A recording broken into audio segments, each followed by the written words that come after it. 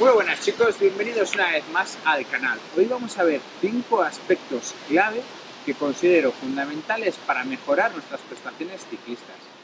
Pueden parecer básicos, pueden parecer sencillos, pero para mí son esenciales. Como os digo, estos 5 puede haber un millón más. Atentos.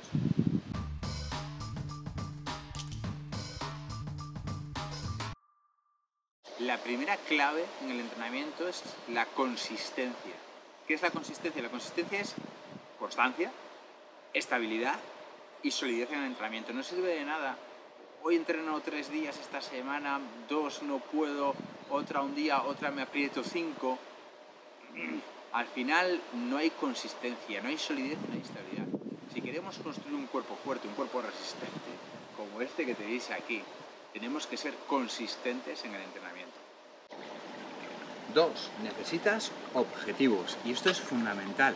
Los objetivos no tienen por qué ser grandes machadas, grandes gestas deportivas, puede ser adelgazar unos kilos, tener mejores prestaciones, poder salir mejor con la grupeta. Sea cual sea, necesitas objetivos. Piénsalo, medítalo, anota dos, tres objetivos y tenlos en mente. Tenemos nuestros objetivos, nos habremos fijado unos plazos de tiempo y demás, necesitamos una tercera cosa y es un plan un plan de trabajo y esto es fundamental y tenemos que tener clara una cosa, un mal plan es mejor que no tener un plan, o sea que hay que trazarse pues eh, una hoja de ruta y tratar de seguirla. Aquí me vais a permitir hacer un poco de cuña publicitaria y ya sabéis que, me podéis encontrar en Fin de Santander donde pues estamos ayudando a mucha gente a tener una hoja de ruta eh, más ordenada. Así todo, siempre tenemos el contenido que, creo en este canal y que ya sabéis que esta primavera estoy metiendo más cosas eh, con infografías y además vamos a meter mm, mucha más calidad para que tengáis eh, todos los recursos. Fundamental, más vale un mal plan que no tener un plan.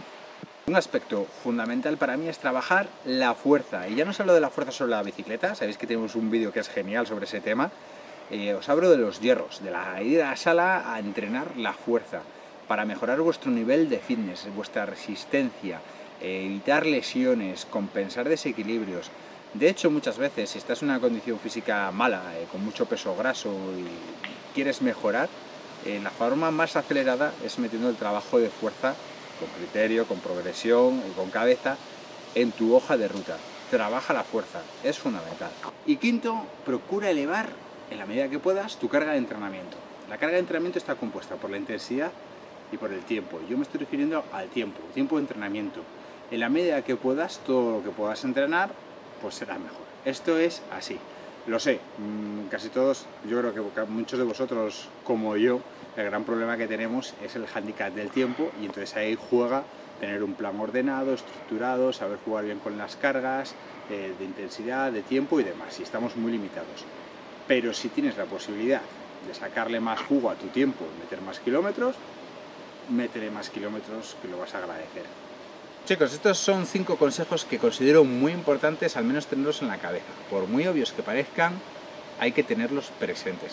Os digo estos cinco, podríamos hacer un vídeo de 20 consejos y de 30 consejos eh, que pueden ser imprescindibles o más o menos importantes. Pero chicos, tenerlos en cuenta y en función a ello tratar de organizaros. Os invito en este vídeo a que comentéis, que digáis, oye, ¿qué consejo os parece más importante?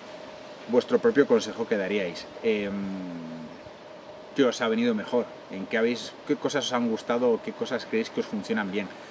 Interactuar y comentar como siempre, ya sabéis que esto va mucho de, de comentar e interactuar entre nosotros. Y si os ha gustado el vídeo, ya sabéis, darle like y suscribiros o algo de eso, que es gratuito y no pasa nada. Así que nada chicos, un abrazo muy fuerte. Chao, chao. Estoy casi seguro que estoy cerca de encontrar al maestro Yoda y podamos tener un buen debate él y yo acerca de la fuerza, hombre.